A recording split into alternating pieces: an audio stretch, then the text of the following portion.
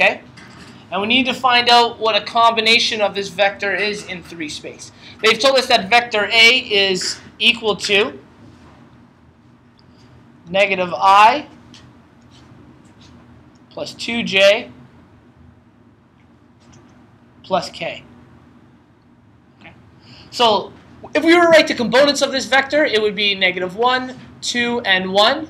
And we know that that is some vector, and I'm just going to quickly estimate it at negative 1, 2, and 1. Something like that. Okay? When we go out into 3 space. I know it's hard to see without the box, but that's essentially the idea of where this vector is. But we're not only doing that, we're doing a combination of this vector. Okay? This is going to be combined with another vector. So this is vector A in 3 space. Vector B is another combination that is 2j Because remember, these are combinations of unit vectors. 2j minus 3k. So this is a vector that actually has a value of 0 on the x-axis. It goes 2 on the y and down 3. Okay? So this one actually looks like a, here's vector b in 3 space. And finally, uh, they've given us vector c. Vector c is i minus 3j plus 2k. So i over 1 minus 3, 1, 2, 3, we go back, and up 2. Something like that. So this is vector c. But what they've now asked us is to combine these. Okay, So we're going to make a combination of this vector. I'm going to do this the using standard form first, and then we're going to use it using component form. Okay? Essentially what this question asks us, they've now asked us to solve the following. A, please solve 2 vector A minus B plus C. Okay? So we're adding and subtracting vectors, but each of these vectors is made up of unit vectors. Okay? So instead of actually trying to move the vectors on a graph and figuring out what they look like in 3 space, we're going to use their values to help us figure out where the new position vector will be, or the new combination of these vector will be. Okay? So instead of, like I said, moving it around, I'm going to substitute in, well, I know that 2, we know that 2a, okay? 2 times a is a value of negative i plus 2j plus k. Okay. Minus b is a value of 2j minus 3k. And we're adding c. c is i minus 3j. i minus 3j plus 2k. Okay. We'll write those vector arrows on above at the end. So we got to find out what this combines into. And we're going to do that using, this form. So we pull, we move our scalar into all three, distributive property, the negative into 2, and then in this one it doesn't really change anything. So we get negative 2i plus 4j plus 2k minus 2j plus 3k plus i minus 3j plus 2k. So what's happened is we're combining three, well, almost three for each of them, types of unit vectors together to see what each of them will be on their respective planes. I is the plane of the x-axis, so we're going to combine all of our i's, our unit vectors, along the x-axis. And in this case, there's only two.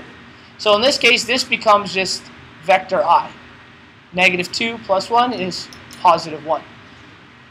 And our next one, this is along our y-axis, where we have three different types of unit vectors. So we're going to combine them all because remember these would all be parallel. These would all be parallel unit vectors and we're going to combine them to see where they reach. So 4 minus 2 is 2, minus 3 is negative, so negative j. And finally, k. Along the z-axis, all of these would be parallel unit vectors. 2k plus 3k is 5, plus another 2 is 7, so 7k. So our component Oh yes, it's negative i. So our component vector here, instead of actually physically moving them and trying to determine what that looks like, we took all of them in standard form, okay, our vector unit standard form, and we just combined all of our like terms applying the scalar, okay? We could have also done this in component form, and in component form, we'll write the exact same question. Question said 2a minus vector b plus vector c. And now in component form, a was the equivalent of what? Anyone know how to write that in component form? Negative 1, 2, and 1. Good. Vector b would be 0, 2, negative 3. Good. The 0 I thought might get you guys. And vector, is it c? Yeah, vector c would be what? Good. So these are the components of it. We can use this also to solve it. We're just choosing a strategy along here. So, 2a, well, we have a scalar of negative 1, 2, and 1. And we're subtracting 0, 2, negative 3.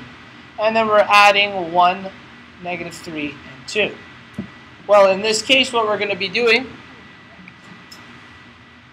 is we're going to be using our scalars to go across this, okay? So, we're going to distribute again, the negative as well.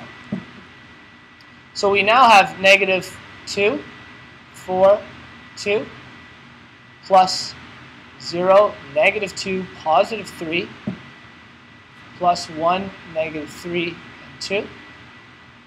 And then when we're in component form, we're just going to add up each of the uh, respective components. So these are all of our x values, so we're going to put them together. Negative 2 plus 0 plus 1.